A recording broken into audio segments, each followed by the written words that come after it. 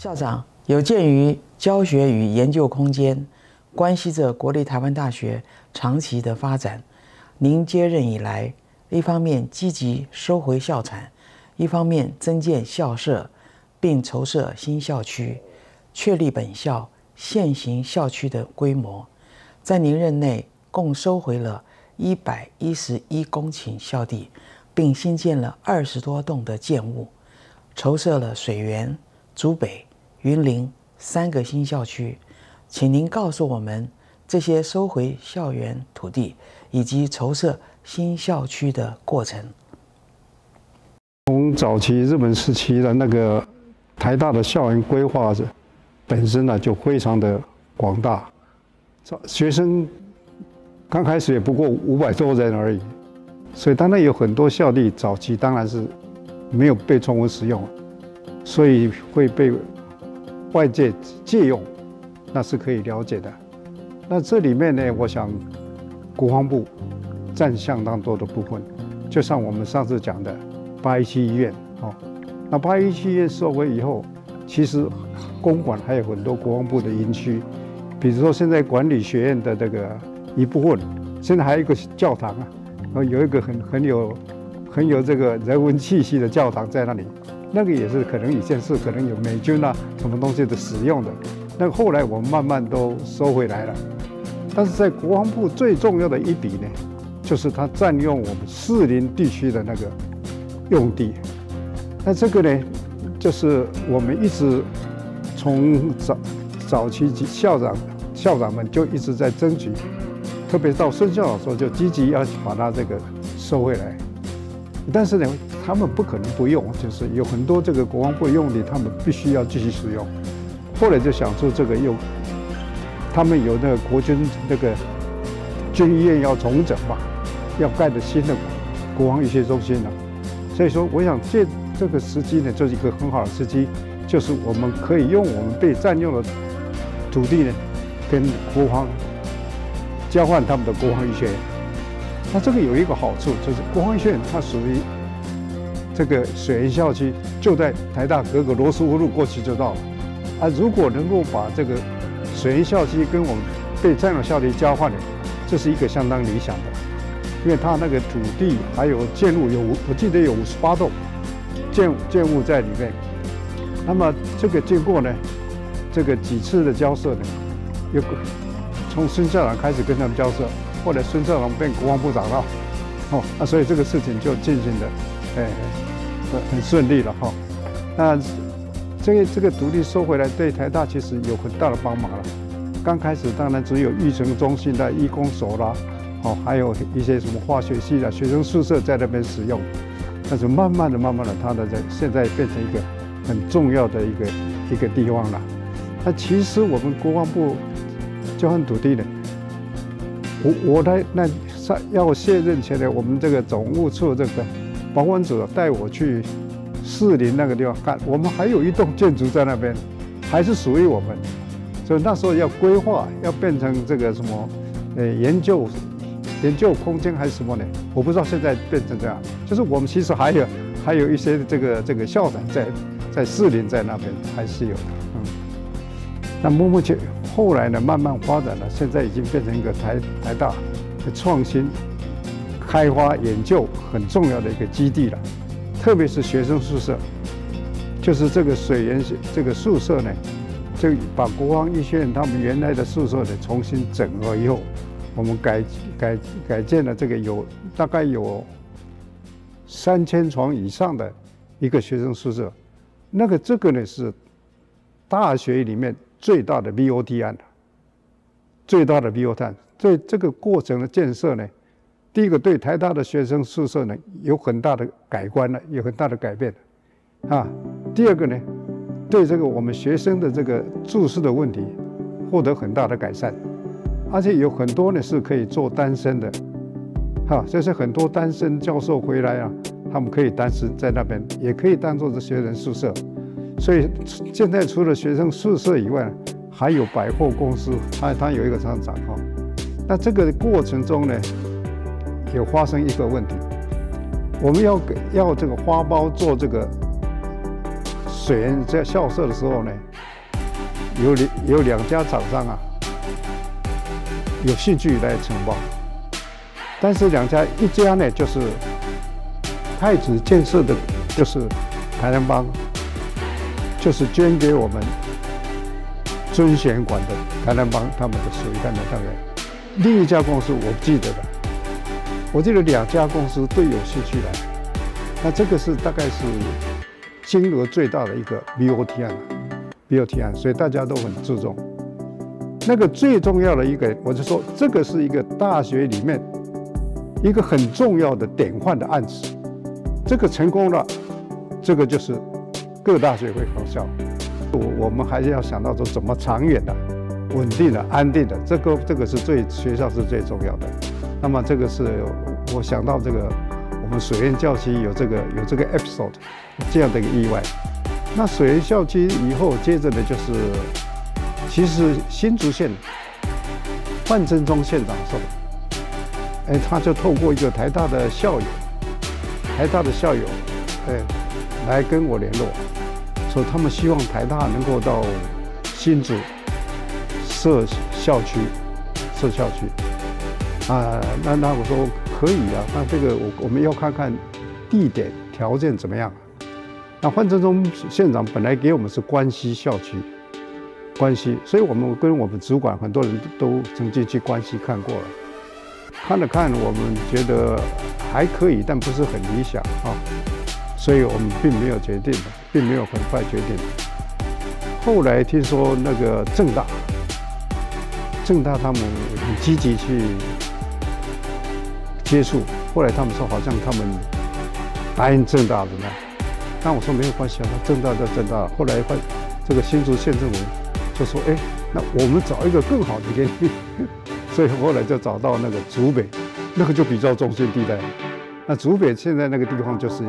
那个你你从这个高速公路去都可以看到了哦。那将来这个高铁也是很很方便的地方。那竹北呢，第一个是它跟台大的这个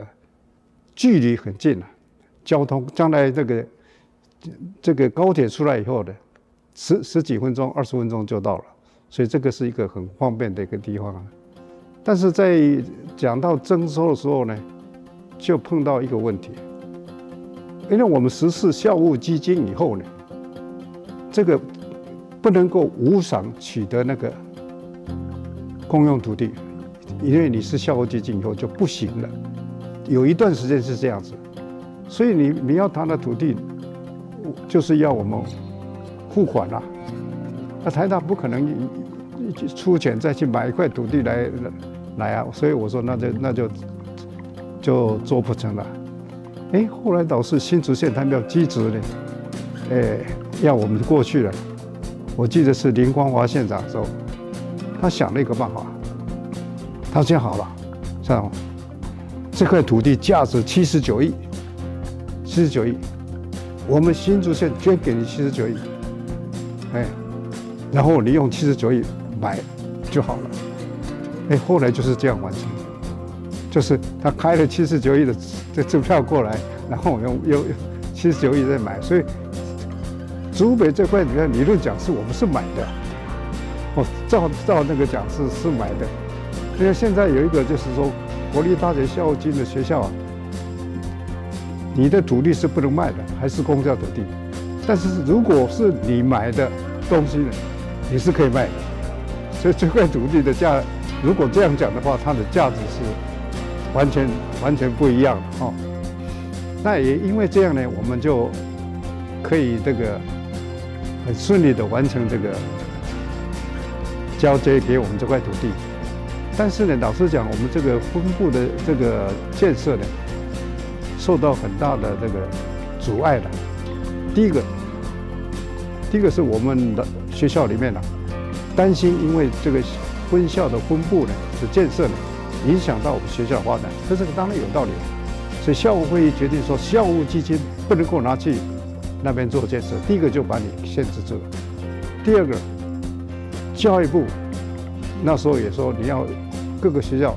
要有分布的话，要自己去募款。所以现在变成分校的这个建设必须要靠募款，所以后来为什么很多学校本来都有很多这个分部，后来就做不下去了，因为大家很难这个开创一个学一个校区不是那么简单的。那么台大其实在这个竹北分部那边呢，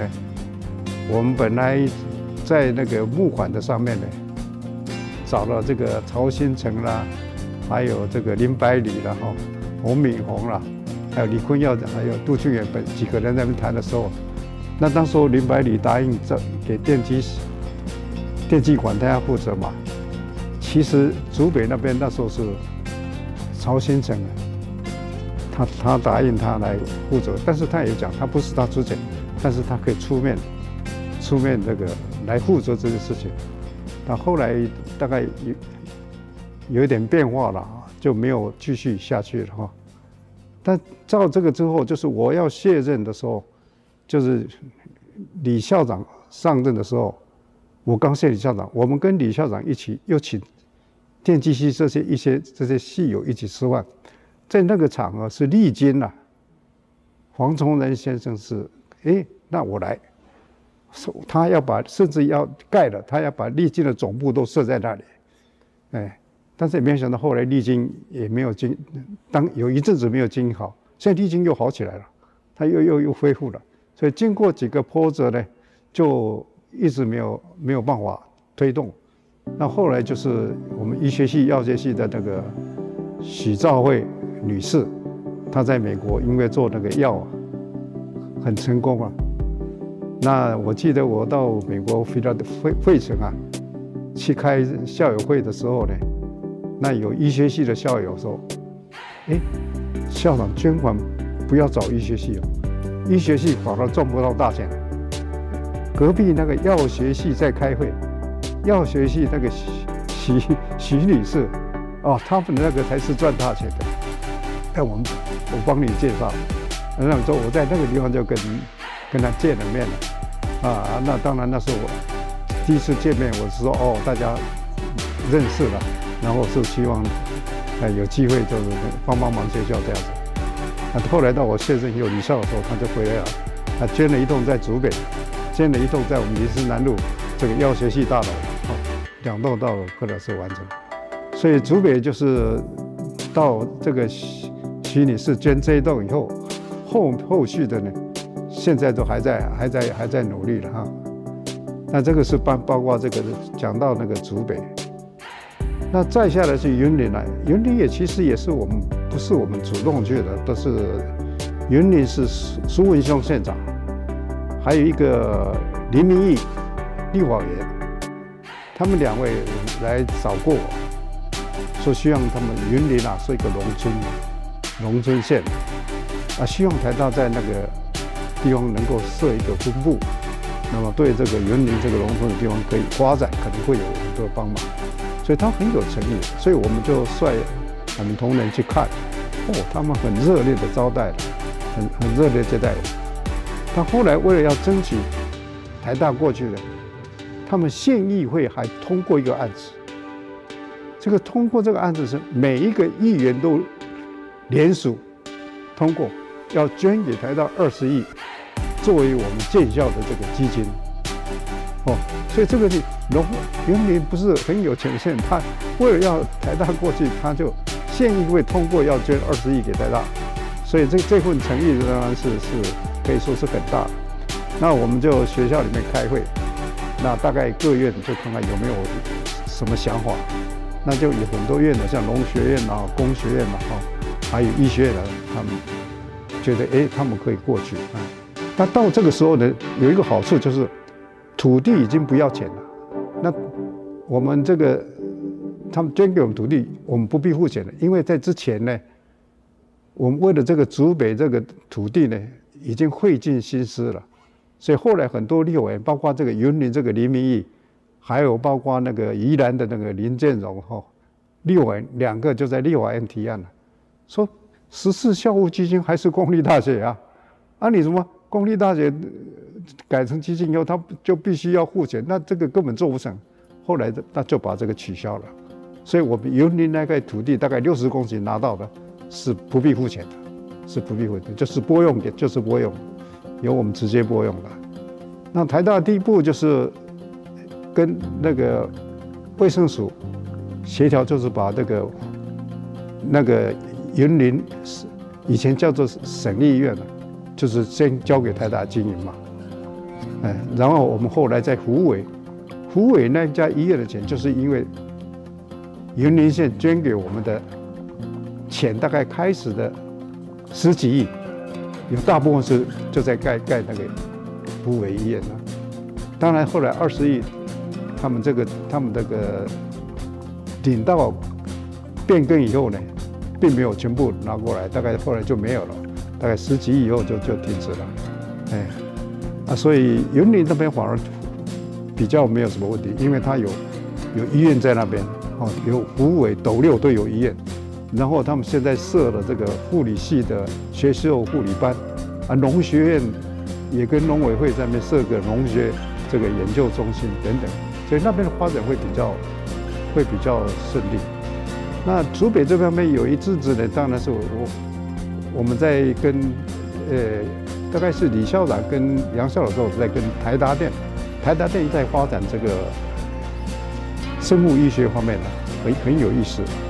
那所以在谈合作。那后来本来以为大概可以可以成的话，那那个地就可以活用了。那后来好像没有，又又没有继续下去。所以现在竹北这个地方还是一个很很重要的地方嘛。其实。为什么会去争取这个竹北跟云南的？我们都是觉得台湾的土地有限，台湾大学在公馆是一个心脏公都市的心脏地带，这个地带再怎么发展有限的。你以前学生几百个人，现在牺牲三万多个人，新的研究、新的人员一直在增加的，时候你最后一定要往外跑。所以我们觉得，哎，还是能够的话。我们再往外要去掌握几个地方，可以作为我们将来更进一步发展需要的一个基地了。但我们校务会代表也很赞同这个了，他说这个是很好的这个啊的这个先见的，就是希希望在外面有个发展的地方。新竹生医园区它是一个园区啊，在早期它是政府的一个计划，委托台湾台湾大学办理，他那时候那个医院的经费啊。还有要设个六个研究所，设直子中心等，整个都计划都完整的。后来因为这个政府的这个有变化，台大后来后来放弃了。在我跟李校长讨论以后，觉得那那时候各种情况很复杂，我们就放弃了。放弃以后，本来是其他大学，交大、清华、哦、阳明他们在争取。但是经过那么多年，还是没有，他们还是没有办法做成，所以后来他们又回过头来，来，来邀请台大回去。那这次回去，我们是同意了，就是去盖那个生医院。但这个是这个医院的，现在是台大要出三分之一的经费的啊，三分之一到三分之二的经费了，所以自己盖的，在本来的医经费是应该全部都是政府出的。但是我们觉得，这个如果对这个整个生物医学有发展有帮忙的话，那应该还是要接受了。所以我们后来国科会他们跟台大接触以后，我们还是接受了啊。那这个当然，这个对新竹地方的医疗有很重要，因为本来这个生医园区可能盖不成的时候呢，我们那时候就跟卫生署，那时候是卫生署谈谈论。他说：“你可以把新竹院交给台大，我们用新竹院把它功能改进，也可以达到那个转移医学的目的。所以后来卫生署就把新竹院交给台大，然后把竹东医院也交给台大。那现在现在变成我们在新竹有三个医院了，哦，三个医院了。那三个医院的话，现在我们已经报教育部同意了，三个医院可以整合成一个医院。”就是圣医园区医院、新竹医院、竹东医院，那这三个将来可能会形成一个医学中心。那么现在是新的未来的方向，将来台大医院会有一个三个，一个台北台大医院、新竹台大医院、云林台大医院，变成这样。就像台北荣总、台中荣总、高雄荣总，呃一样的情形呢会出来了。当然，我们的情况，我那天在医院在跟他们谈的时候，当然我们必须要先考好这三个三个将来的关系是怎么样。哦，这个要先考虑好。哎，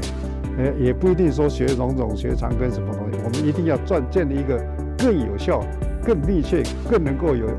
有有这个亲密关系的一个伙伴才行啊。